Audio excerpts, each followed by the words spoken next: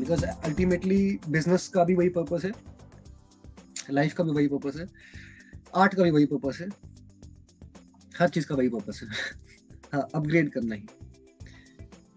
अटकना, क्यों? अब ये बातें कोई करेगा नहीं दुनिया में, वही बोलेंगे कि चल तो रही है जॉब दो साल, तीन साल हो तो गए। लेकिन आप बोल रहे मैं अटका हुआ हूँ भाई। एक ही लेवल पे। Not in terms of promotion also promotion भी हो तो मुझे होगी तो क्रिएटिवली मुझे और चीज़ करने को मिलेगी तो प्रमोशन भी उसमें चाहिए मेरे को।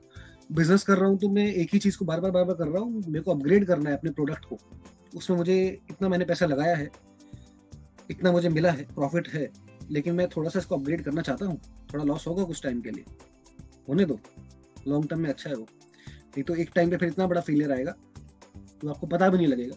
Not in terms of finance नहीं बोल रहा मैं फाइनेंशियली भी आ सकता है but in terms of life जो एक्सट्रीम फ्रस्ट्रेशन होगी जो जो लोगों को हो रखी है, जो गुस्सा है, भरा पड़ा है वो इसलिए भरा पड़ा है क्योंकि स्टेप बाय स्टेप वो चीज़ें पकड़ी नहीं। है ना? तो जब आपने एक्सेप्ट कर लिया, उन चीज़ों पे काम कर लिया, अब उसमें लर्निंग ज़रूरी आएगी लर्न कैसे करना है और कहाँ से करना है वो भी इम्पोर्टेंट है। नहीं तो जनरली जब लोग फेल होते हैं तो ऐसी जगह से लर्न करना शुरू कर देते हैं। तू फेल हुआ, तूने क्या किया था? मैंने ये बिज़नेस कर लिया था, तू भी कर ले।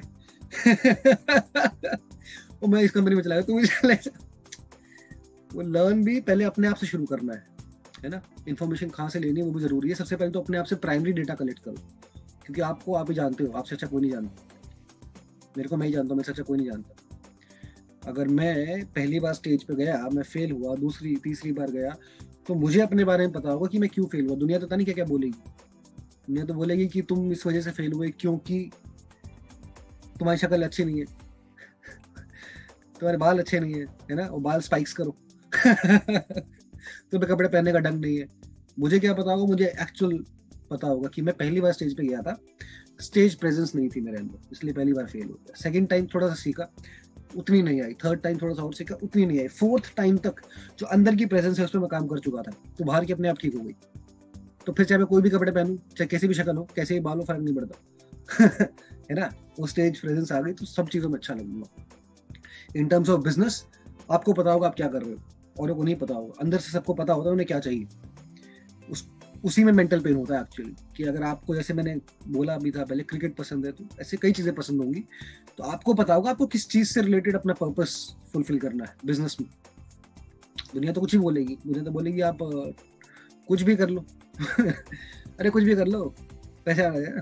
पैसे पैसे पैसे पैसे पैसे। साड़ी की दुकान खोल लो। आप बोल मैं क्रिकेटर हूँ भाई। हाँ साड़ी की दुकान खोलना भी बढ़िया है। इस, इसको इस तरीके से भी ले लेते हैं। कोई फ़ैशन डिज़ाइनर है वो बोल रहा है कि मुझे अपनी लाइन ऑफ़ क्लोथिंग खोलनी है अपने तरीके की स्टाइल पसंद है। तो मैं वही उसका भी एग्ज़ाम्पल दे चुका हूँ मैं एट्टी ट्वेंटी वाला रूल अप्लाई करूँगा।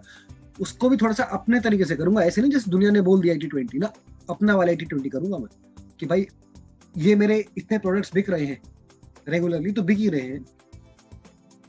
कुछ परसेंट प्रोडक्ट जो मुझे पसंद है मेरा स्टाइल है उनको मैं फ्री में मार्केट कर सकता हूँ या फ्री सैंपल्स दे सकता हूँ या फ्री में स्कूल्स में दे सकता हूँ या स्कूल्स और कॉलेज के फ़ैशन शोज़ में दे, सकता हूँ। रैम पॉप के लिए सबके लिए। वहाँ उनकी मार्केटिंग हो सकती है। तो वो मैं अपने लिए कर रहा हूँ है ना? वो पर्पस डिफाइन करना पड़ेगा। वो लर्निंग आ जाएगी है ना? तो वहाँ से आप लर्निंग कर लोगे। तब ये सब करोगे ना तो जो स्केप है और एक्सक्यूज है इनसे बच जाओगे। तो you will be like completely a strong person ना। जो अपने आप को जान गया जिसको ये पता लग गया ये मेरे फेलियर्स हैं। हाँ एक्सेप्टेड एक्सक्यूज नहीं देना एस्केप नहीं करना फेस किया लर्न किया। अब जब वो बोलेगा दुनिया के सामने जाके कि यार ये ये, ये है मैं ऐसा हूँ मैं ये हूँ वो बिल्कुल विदाउट एनी फ़िल्टर बोलेगा। उसे पता है जो बोलना है बोल लो फ़र्क नहीं पड़ता। मैं अपने आप को ऑलरेडी बहुत कुछ बोल चुका हूँ।